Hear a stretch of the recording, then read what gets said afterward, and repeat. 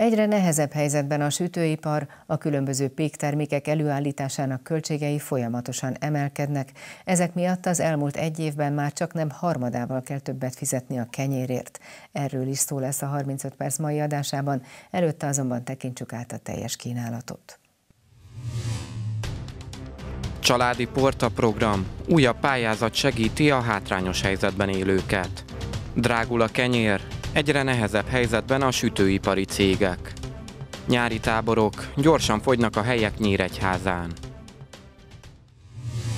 Az előző évhez hasonlóan idén is 240 millió forintos keretösszeggel hirdették meg a Családi Porta programot. A pályázat a kertműveléshez szükséges eszközökhöz és alapanyagokhoz, valamint az állattartáshoz biztosít támogatást a hátrányos helyzetben élők körében szabolcs szatmár megyében különösen népszerű a program. Tavaly 1100 család vett részt benne. A részletekről Máté Szalkán tartottak előadást a napokban. Paprika terem a kertben és csirkét is nevelnek ennél a háznál Milotán. A háztáji gazdálkodást itt egy állami pályázat, a Családi Porta program is segíti. A pályázat szervezett keretek között támogatja a vidéken élő hátrányos helyzetű családok konyhakertjeinek megművelését, valamint a kisállattartási gyakorlatok megszilárdítását. A program maga egy 20 éves előtt programmal indultak el, hiszen a Szociális Földprogram meg a 90-es évek elején indult azzal a célral, hogy a gazdasági átalakulásból adódó szegénységi küszöb, illetve a szegénységben élő családoknak a napi megélhetését segítse és próbálja orvosolni a napi kiadásokat azáltal, hogy önmaguk megtermeljék azokat a javakat, amelyek hozzájárulhatnak az önfenntartásukhoz. Ugyanakkor az idő múlásával és azzal annak köszönhetően, hogy Magyarország gazdasági helyzete sokkal jobb és a munkanélküliségi mutatók csökkenő tendenciát mutatnak, a maga a szociális földprogram egy átalakuláson esett át. Ennek keretében a nevében is változások indultak el, hiszen családi porta program nevet kapta, azzal a nem titkolt célral, hogy a vidéki porták rendezettebbek, gondozottabbakká váljanak. És nem titkoltan a fő célunk az is, hogy ennek keretében a családok napi megélhetését segítve, a rendezett körülmények elősegítésével az embereknek a komfortérzete és a lakókörnyezetük rendbetétele is még jobban szembetűnőbbé váljon. A programot 2022-ben is meghirdették, melyről Máté Szalkán tartottak előadást a térségben élő önkormányzatok és roma kisebbségi önkormányzatok számára. A fórumon Kovács Sándor országgyűlési képviselő elmondta, azokat szeretnék az otthoni gazdálkodás elsajátításában segíteni, akik korábban valamilyen okból nem tudták vagy nem akarták ezt megpróbálni. Vannak olyan családok, akik vagy szocializációs hátrány miatt, vagy csak egyszerűen az élet kényszere, vagy a, a tapasztalás hiánya miatt nem nagyon akarnak erre helyezkedni már munkerőpiacon, normál munkerőpiacon. Ezt Máté Szak is jól eh, mutatja, hiszen 250 főt tudnánk azonnal felvenni, és körülbelül 700 munkanélküli van a településen program keretében megpróbálunk olyan háztáji típusú foglalkoztatást helyben vinni, a portára vinni, vagy olyan régen mondták háztáiba vinni, ahol az emberek újra megtalálhatják egyrésztről az életvitelőkhöz szükséges nyersanyag megtermelését, ez lehet akár állattenyésztés, akár növénytermesztés. Aztán a fölösleges eladjuk. Most, ha nagyon profánokon megfogalmazunk, akkor visszamegyünk néhány száz évet, amikor a, a helyi gazdálkodásban plusz megtermelt árukból bevértelt is képzünk. Nekem is van van egy ehhez hasonló program, ami a háztáji eh, munkához, illetve a közfoglalkoztás keresztezéséhez kellene. Gyakorlatilag állami inkubálás mellett, állami védelem mellett megpróbálunk olyan szociális jellegű munkát találni a vidéken ragadt embereknek, akik eh, akarnak, tehát ki kell választanunk olyan tenni akaró családokat, akik akarnak mintát mutatni a többieknek. Ha ez sikerül, például akkor én Bárány Lászlóval tárgyaltam a Baromfikopnak a tulajdonosával, ő nagyon szívesen megváltozott megvásárolná ezt a csirkét, kihelyezni, gyakorlatilag bérhizlalás nevezzük így, így az az ember, aki otthon van a saját háztáji környezetében, portáján nevelhetne csirkét, mondjuk Európai Uniós forrásból tudnánk neki csirkeólat építeni, és ott a családdal együtt néha nyakon vágni a gyerek, az mondja, hogy eredj le, etes meg a csirkéket, vagy éppen össze kell seperni a, a ganét alól. Tehát a családi gazdálkodásban a felelősségvállalásra eh, biztos meg is dög lenne néhány, éhesek is lenne a család, de ezeket a buktatókat kell eh, kiküszöbölni. Aztán nagyon fontosnak tartom, hogy Máté Szalkán és Baktoloránt házán van mezőgazdasági képzőközpont, iskola. Be lehetne a családtagokat iskolázni, akár növénytermesztésre, akár állattenyésztésre, de nyúlról is beszélhetünk, galambról is beszélhetünk. Tehát olyan állatokról, aminek nagy a munkaerőigénye, nagyüzemileg is lehet csinálni, de a nagyüzemű tartás miatt nem biztos, hogy tudunk versenyképes piaci áron adni. Itt viszont állami támogatással, hogyha háztár gazdasági környezetben tenyésztjük, termeljük meg ezt az élelmiszert, és ezek az Európai Uniós folyamatokban nem csak tyukólat, hanem esetleg feldolgozóiparik is, eh, mini üzemeket is csinálunk, akkor minél magasabb hozzáadott értéket tudunk készárút piacra juttatni. Na valami ilyesmivel gondolkodom én, mint itt Máté Szakai választókeret elnöke, újonnan megválasztott képviselője, és ez a program is össze kell hangolnunk, meg kell találnunk a családokat, akik tenni akarnak, és az én számításom szerint még közgazdaságilag is meg fog érni, kettő kötőjel három éven belül, ha az állam gondoskodik itt az alapvető infrastruktúráról, akkor azt gondolom, az emberek ezt meg fogják érezni. Az én számításaim szerint, amit egy eh, több mint 250 oldalas dokumentumban csináltunk meg, ott közgazdaságilag másfél-két évnél átfordul, inkubáció nélkül is a, a normális gazdálkodásra nagyobb mennyiségre, a felvásárlás, a folyamatos eh, ellátás és a feldolgozás folyamatába, hogyha beletesszük magunkat, és az én elgondolásom szerint itt az önkormányoknak non-profit gazdasági társágot kell alakítani, gazdálkodni kell. Nem szoknak még hozzá a polgármesterek most sem, hogy ezt hogyan kell csinálni. Én itt azt gondolom, hogy a Szabós 05 non-profit Kft-vel mintát mutattunk. Van egy mediátor kóp közvetíteni és kereskedni, szintén a 44 településnek egy non-profit Kft-je, és én ezen a non-profit gazdasági társágon belül oldanám meg ezeket a feladatokat, amelyet most itt egy, egy országos mintaprogram program keretében próbálunk meg bemutatni. Az idei pályázatot 240 millió forintos keretösszeggel írták ki, amivel nagyjából 7000 családnak tudnak segíteni. A családi porta programban három fő elemet emelnék ki. Az egyik a kisállattartás, amely ugye a háztai gazdálkodás velejárója és egyáltalán a magyar vidéki életnek egyik kulturális sajátossága is lehet. A másik a virágos kert, amelyek a házak előtti előkerteknek a gondozottságát mutathatja, ezzel is javultva a települési képet, illetve a lakókörnyezetnek a megítélését.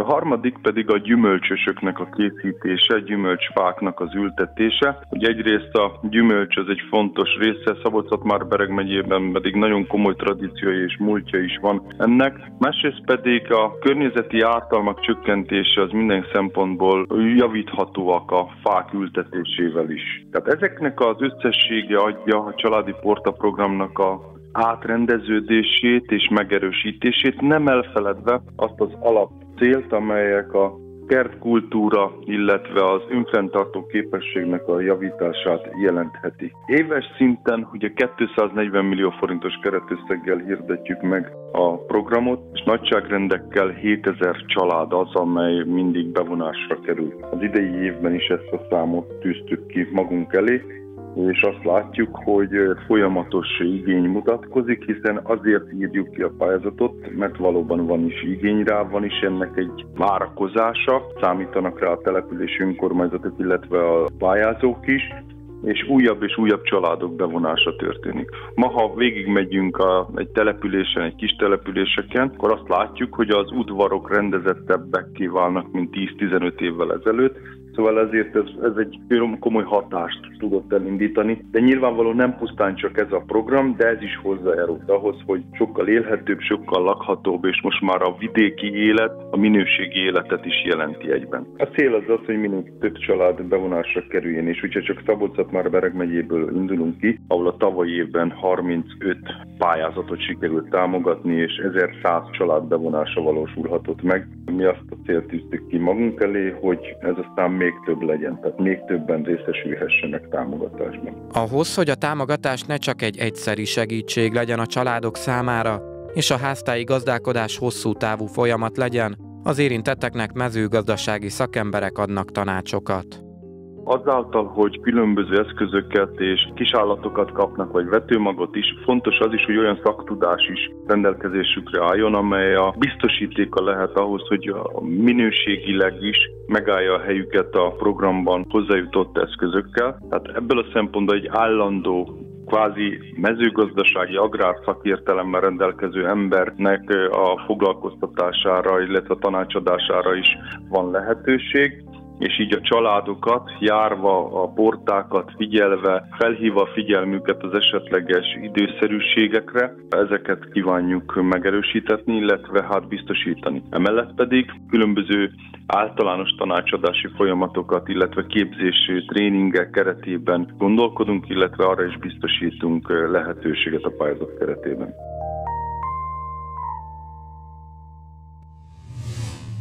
Egy év alatt csak nem 30%-kal emelkedett a kenyér és számos más péktermék ára, és még nincs vége ennek a tendenciának. A sütőipar egyre költségesebben tudja csak előállítani a kenyeret, a malmok számára a búza árrobbanása, a pékségek számára a liszt árrobbanása okoz problémát. Erről, a további okokról és a lehetséges megoldásokról Lakatos Tibor, a Magyar Pékszövetség alelnöke számol be. Jó estét kívánok! Jó estét kívánok!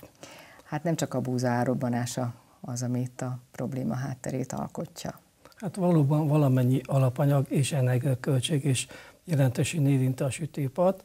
Egyébként egy kis kigazítás, a KSH szerint 28,7%-kal nőtt március per márciushoz képest a kenyér, és 18,6% az egyéb pékáru. De azt gondolom, hogy ez sajnos az infláció és az alapanyag ár növekedése miatt ez jelentősen fog növekedni az Megjósolható, idén. hogy hol lesz ennek a plafonja? Hát ha meg tudja valaki jósolni, hogy mennyi lesz a búza ára, akkor valószínű, de mivel tőzsdei termék, ez, ez változik, ugye lesz egy adatás június végén, július elején, az is befolyásolni fogja. Tehát igazából nem tudunk előre mondani kenyérárakat ebbe az évben. Egyáltalán lesz elegendő búza Magyarországon? Itt az ukrán háború nagyon erősen befolyásolja az egész világnak a piacát.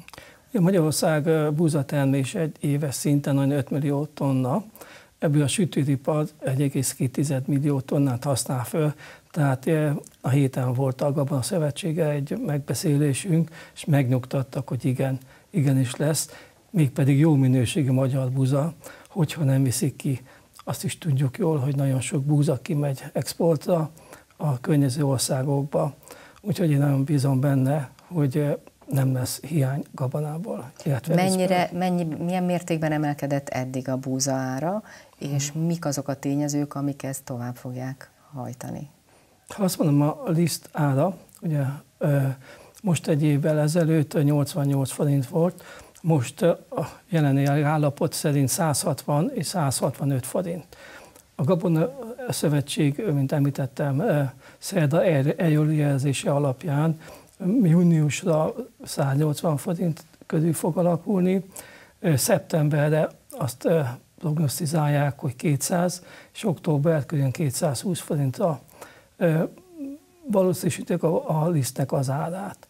No de miután tőzsdei termék és függ a búza termés területétől is, ez, ez még változhat.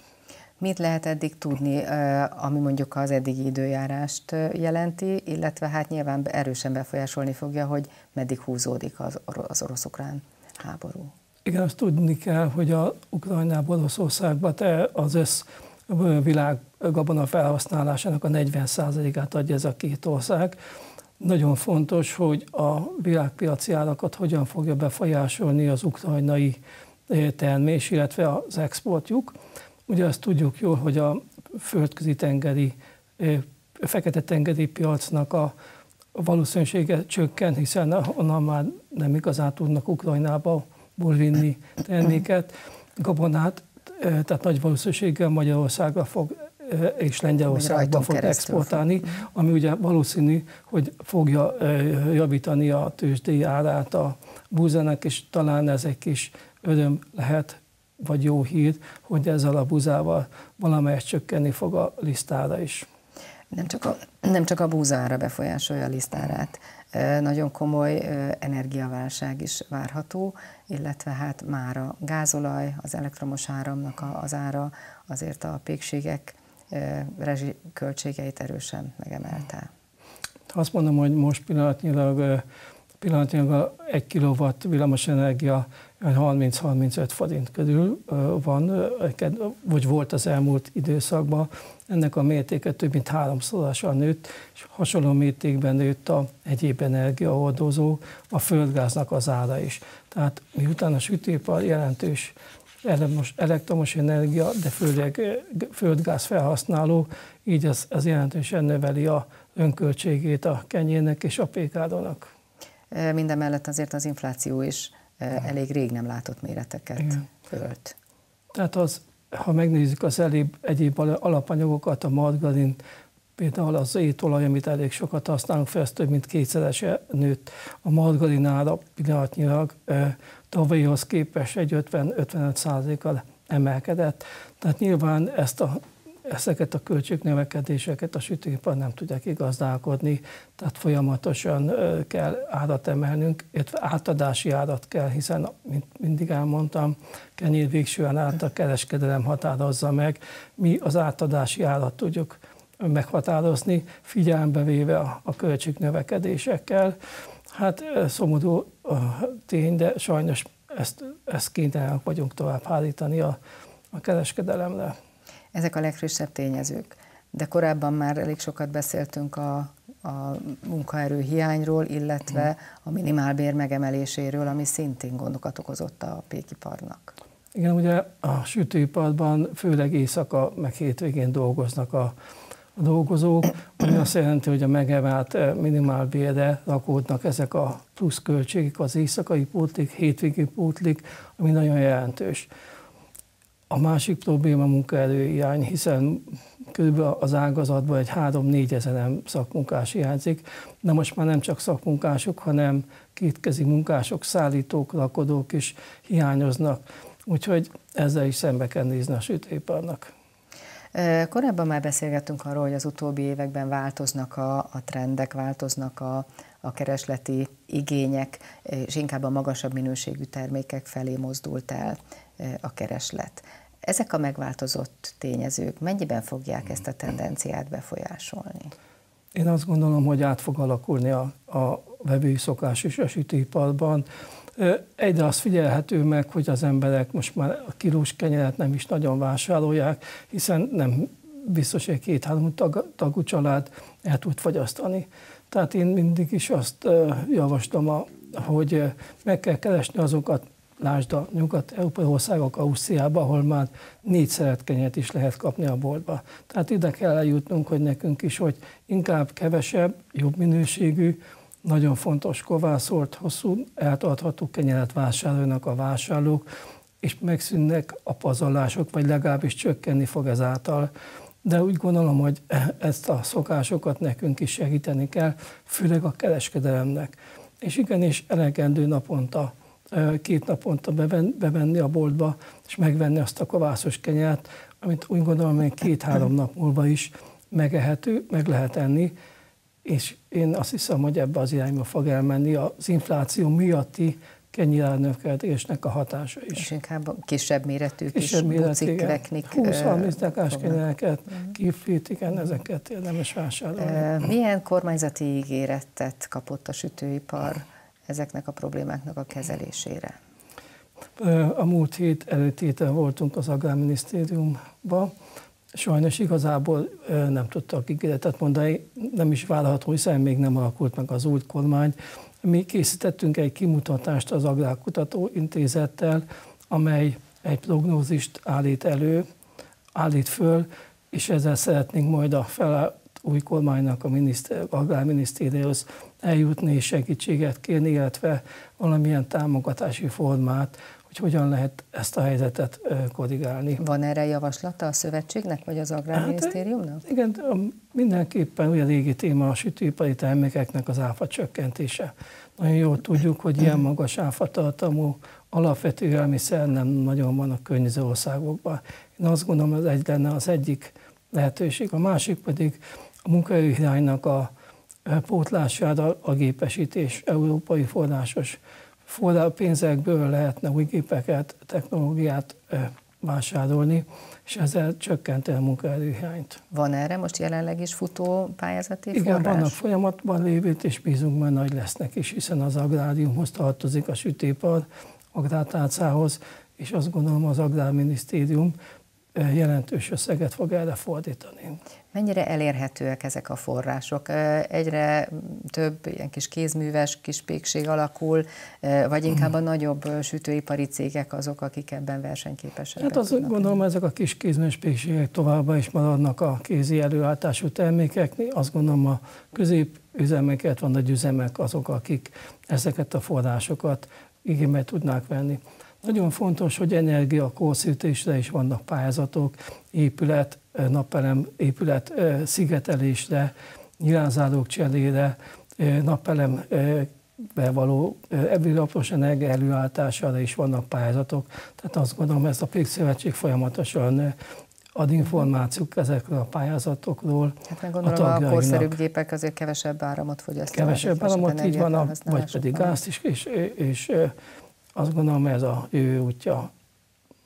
Lakatos Tibor, köszönjük szépen, hogy mindezekről beszámolt, és nagyon bízom benne, hogy hamarosan jobb hírekről is tudunk majd beszélgetni. Én is bízom benne, hogy így lesz. Az elmúlt két év visszaesése után idén újra csúcsot dönthet a táborozó gyermekek száma. A tapasztalatok szerint egyre több szülő bízza gyermekét egy-egy tábor felügyeletére. Igaz ez a trend erre a régióra is. A Kisvakon tanodája és a Nyíregyházi Sportcentrum táborhelyei is gyorsan fogynak. Kézműves foglalkozásokat tartanak ebben a nyári gyermektáborban. A szülők szabolcs már Bereg megyében is számos hely közül választhatnak. 2019-ben országos szinten rekordot döntött azoknak a gyermekeknek a száma, akik legalább egy hetet táborban töltöttek a szünidő alatt. Miután a pandémia jelentősen visszaszorult az utóbbi két évhez képest, a szakértők azt várják, idén megdőlhet a három évvel ezelőtti csúcs. Azt látjuk, hogy a január közepén megindult előfoglalási szezon óta a napjainkig eltelt időszakban nagyjából 15%-kal foglalnak többen gyermektábort, mint a tavalyi év azonos időszakában, és ez a fajta növekedés ez um, országosan látszik, és nem látszik megtorpanni. Ha ezt megtartjuk, akkor a 2019-es adatot is, ami eddig a rekord volt, túl tudjuk szárnyalni, ott 215 ezer gyermek táborozott legalább egy hetet a vakáció során, és hát a jelenlegi előrejelzéseink alapján ezt a számot meg fogjuk tudni haladni, vagyis soha még annyi gyermek nem táborozott Magyarországon, mint az idei évben fog. Reméljük ez össze is jön, és rengeteg-rengeteg gyermek részére tudunk táboros élményt kínálni.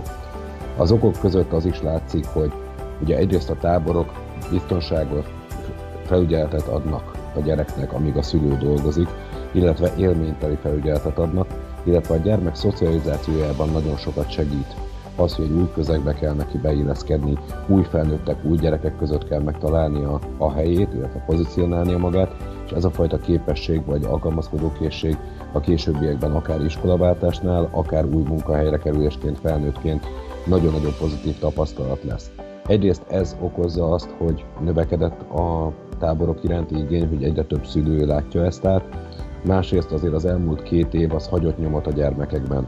Egyrészt azt is látjuk, hogy, és nagyon sok szülőtől kapjuk ezt a visszajelzést, hogy nem csak a nagyobbak, hanem most már a kisebb gyerekek is az online oktatás hatására megtanulták kezelni egyrészt a gyors üzenetküldős alkalmazásokat, az online játékokat, a videós alkalmazásokat, és hát nagyon sokan vannak a gyerekek közül, akik az iskolából rohannak haza, és hogy az online térbe tudjanak játszani a barátaikkal, és kevésbé a játszótérre, vagy éppen a sportpályára mennek, azaz inkább az online térbe próbálnak játszani, mint az offline térbe. És úgy látjuk, hogy nagyon sok szülő a tábort látja nagyon jó eszköznek arra, hogy visszavezessük a valóságba, ha úgy tetszik a gyerekeket, hogy itt is van rengeteg érdekes dolog, rengeteg olyan élmény, amiért érdemes lemenni majd később adott esetben a játszótérre, vagy éppen a sportpályára, és Ez a két ok az, ami miatt azt látjuk, hogy nagyon nagy az érdeklődés.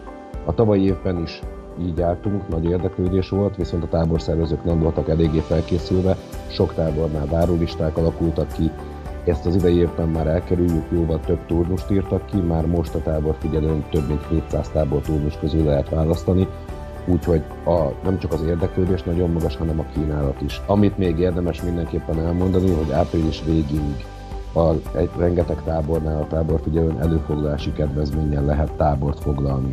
Vagyis azt a fajta árnövekményt, amit az idei évben a táboroknál is tapasztalni fognak a szülők, azt a részben vagy teljes egészében meg tudják spórolni, akik minél előbb foglalnak.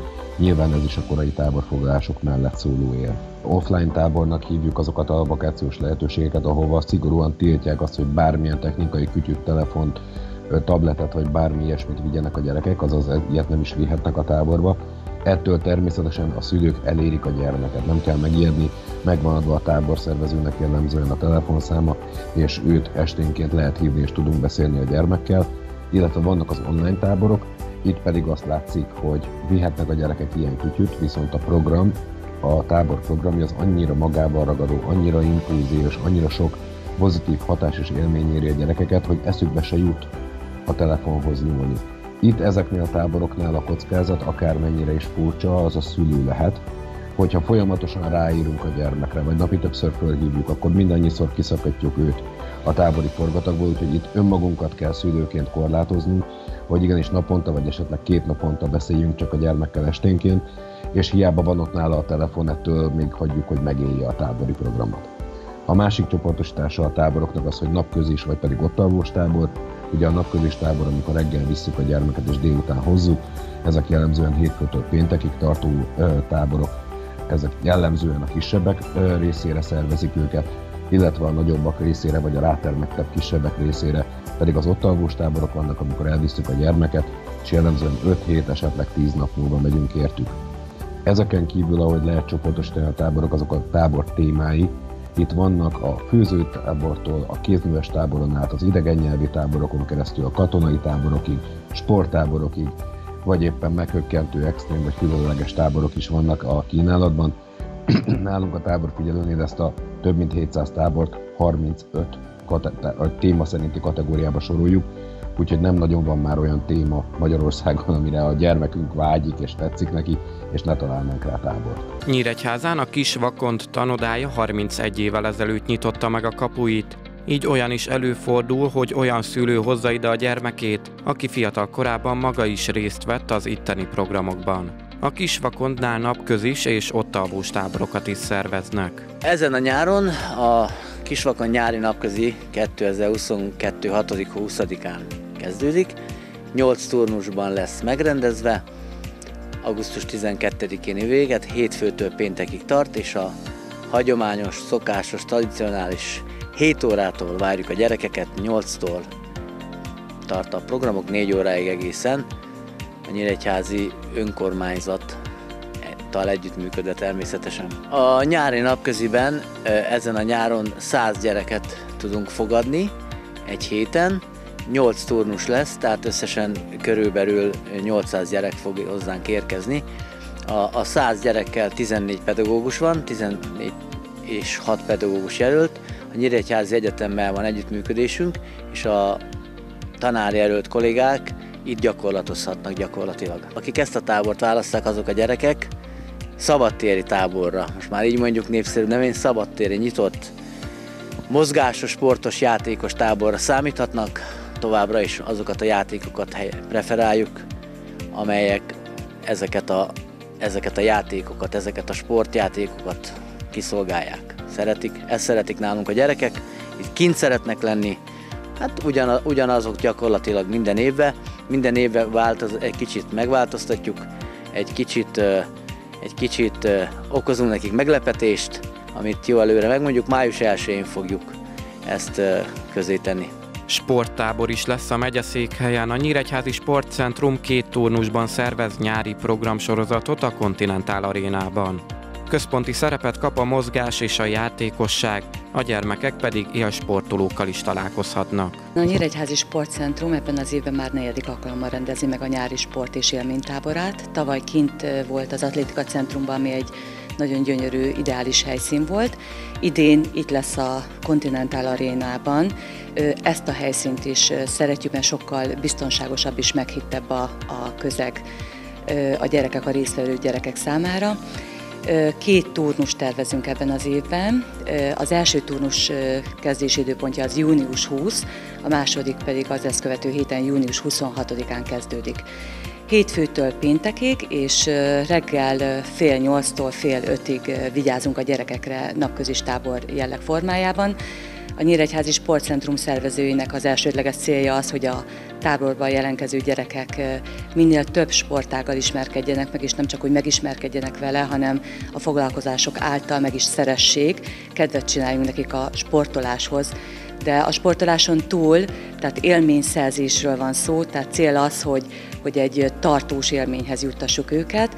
Tehát a fő sportágakon túl, mint a kézilabda, kosárlabda, röplabda, florbal is, még sorolhatnám az úszást, ugye mert érinteni fogjuk a városi sportuszodát is, számos kísérőprogramban vehetnek részt, így például lesz esportunk, lesz kreatív foglalkozás, vagy érkezni fog hozzánk egy bohóc, aki lufi hajtogatásra fogja tanítani a gyerekeket, és visszatérő állomásunk az élő csocsó, amit a gyerekek imádnak, és ott például házi bajnokságot fogunk nekik szervezni. A tábor figyelő adatai szerint ma már csak nem 700 tábort hirdetnek meg a nyári hónapokra, a napközis gyermekprogramok heti átlagára 38 ezer forint, az ott táboroké 60 ezer forint körül alakul idén.